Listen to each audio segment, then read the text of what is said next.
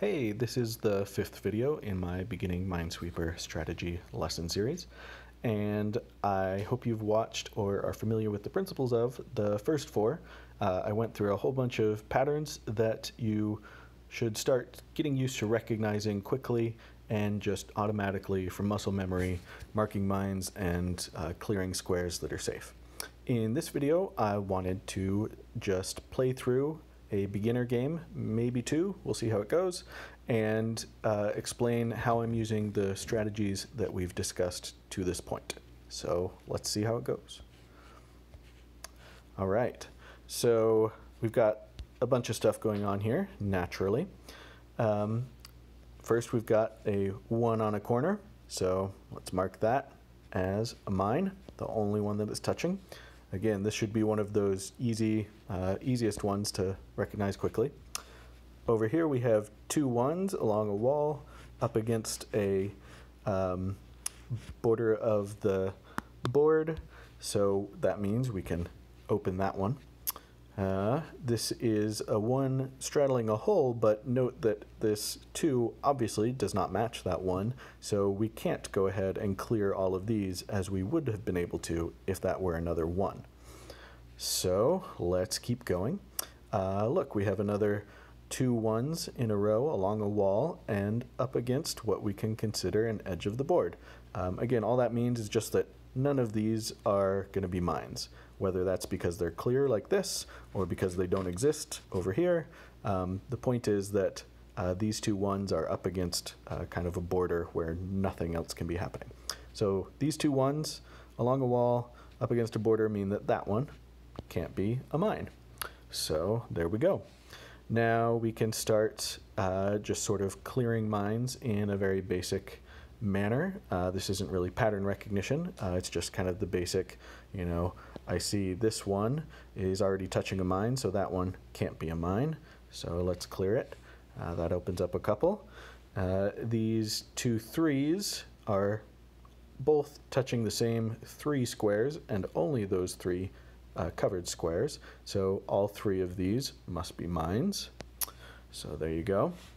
Um, here we have uh, some strategy could uh, help us here, but it's a little bit more advanced than we've covered. So uh, to be, uh, um, what's the word, realistic, I'm just going to go ahead and guess somewhere.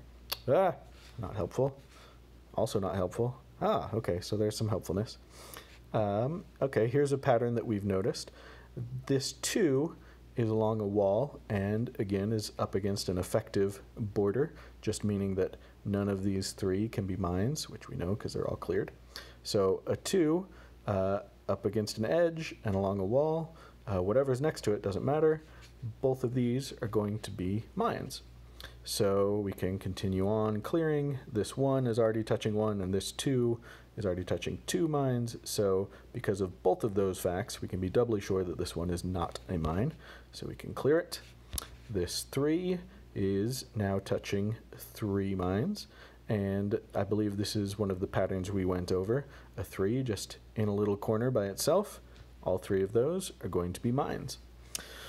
Um, again, uh, there is some strategy here that could help us, but I'm going to guess because we're working with the tools we have.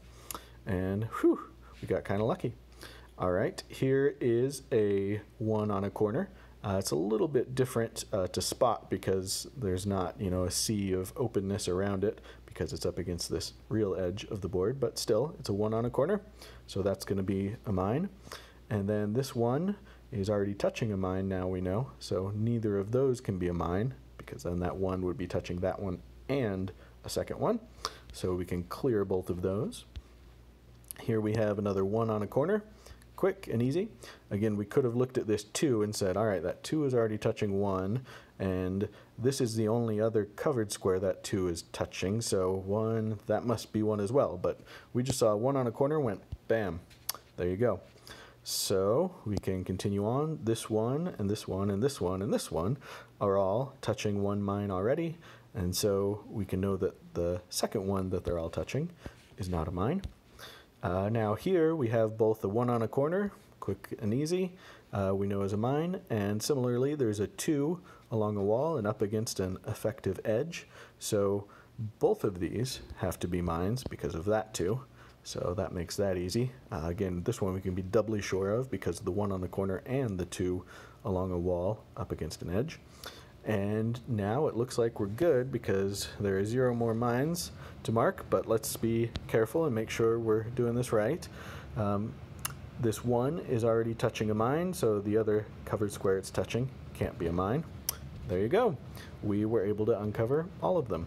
So just using the strategies that we had and a few lucky guesses, uh, we were able to beat this uh, beginning Minesweeper level. Um, I feel like that's enough. Uh, having me go through another one and maybe make a few guesses might not be super helpful. But uh, if you had any questions about this or about any of the lessons up to this point, uh, please leave a comment and I will be happy to respond. Um, and if it's uh, something a bit complicated, I'd be happy to make a video. And now I'm going to end this beginning series, and uh, at some point, I will start on a bit of a medium level strategy uh, that goes a little bit deeper, um, but still not, I don't think, too complicated. But until then, happy solving.